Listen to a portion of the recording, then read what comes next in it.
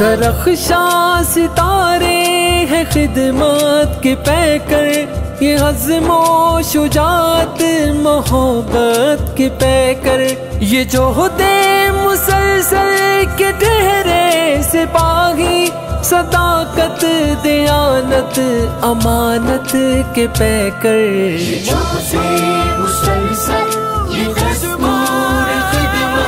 ये सबसे अज़बिल्लाजीम बसमीम खुदा आलम की तोफ़ी और हमारे तमाम मुखरन की ताउन से मुमकिन हुआ कि हम दूसरी कंसाइनमेंट अपनी पहली हमारी अलमजस वेलफेयर ऑर्गेनाइजेशन के तहत और आल यासिन वेलफेयर ट्रस्ट के साथ और दीगर जो इलाकई तंजीमें उनके साथ मिलकर हमने डी खान के लिए, डी खान के मुख्तलिफ़ सलाहदा इलाकों के लिए ये तहफ़ के हमारे नजराने हैं, हमारे तरफ़ से यकजहती का इजहार है, हमारे तमाम यहाँ बसने वाले मुखैरीन की तरफ़ से उन लोगों के लिए कि जो एक मुसीबत का शिकार हैं।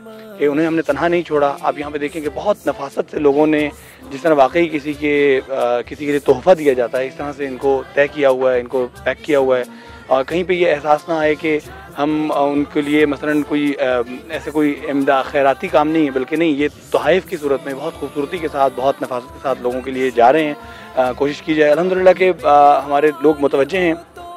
और मुसलसल अपने ये सामान भिजवा रहे हैं, ये तहफ़ हम लेकर भी जा रहे हैं। दूसरी कंसाइनमेंट अभी सखर के लिए जा रही है। इसमें हम शुक्रगुजार हैं जैनलाबद्दीन ब्लड डोनेशन ग्रुप, समा समा गार्डन, वहाँ उन लोगों ने इसके लिए एक बड़ा सामान इकट्ठा करके दिया, बड़ी तादाद में।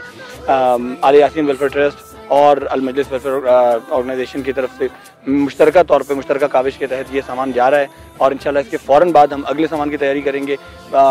इंशाल्लाह ये हमारा अज़्म है, हमारा हमारा फरीज़ा बनता है कि जब तक ये इस मुसीबत, इस बड़ी मुसीबत से हमें निजात ना मिल जाए, हम सुकून से ना बैठें और उन लोगों के लिए जो वहाँ पे मुश्किल में हैं मुसलसल अपनी तरफ़ से कोशिशें जारी रखें। रातों में खिदमत, ये मौजे हवादिस में